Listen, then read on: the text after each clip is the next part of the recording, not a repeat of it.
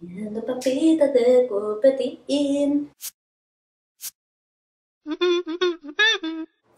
Papas fritas de copetín, papas chips, papas de bolsa, sin aceite, súper sanas, en unos minutos, caseras y riquísimas. Papa frita. Tucu, tu, tucu, tu, tucu, tu, tucu, tu, tucu. Vamos a pelar las papas y una vez que las tenemos peladas, las vamos a cortar así en una tabla con un cuchillito bien filoso, súper finitas. También lo puedes hacer así con un pelapapas. Lo que vas a hacer ahora es poner en un bol agua con sal y pimienta. A esto lo puedes saborizar, le puedes poner pimentón, le puedes poner hierbas, puedes ponerle lo que quieras. El tema es que ahí vamos a meter las papas y las vamos a dejar unos 15 minutos.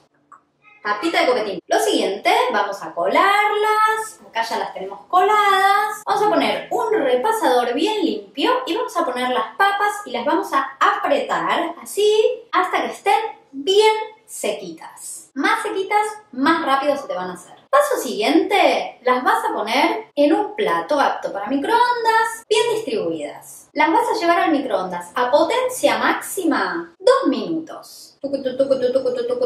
Las sacas y lo que haces es darlas vuelta. Esto es porque si no se pegan al plato. Y las volvés a poner otros dos minutos. Esta operación la vas a repetir hasta que estén las papas. Generalmente son unas 4 o 5 veces. Vas a ver que cada vez que la repetís van estando cada vez más cocidas las papas y en una de las vueltas ya las tenés como querés. No te saltes esto de dar las vueltas porque se te van a pegar todas, te vas a poner a llorar y te va a arruinar el día. ¿Tenemos un llamado? Paulina, Paulina, quiero saber por qué no las hacemos sobre una servilleta de papel.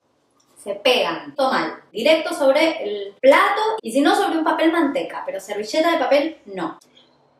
¿Ves? Ahí ya están. Ya están buenísimas. Las ponemos en un cuenquini. Mira, están recontra crocantes. Son súper ricas y súper sanas. Bueno, papa. Mm.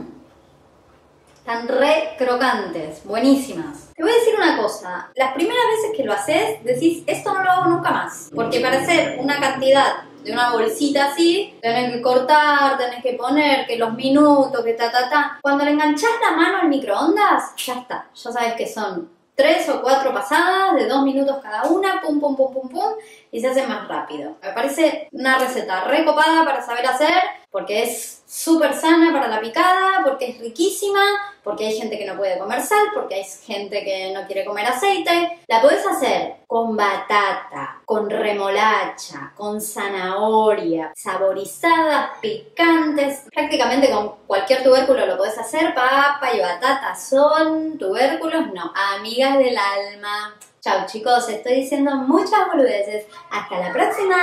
Hasta la próxima.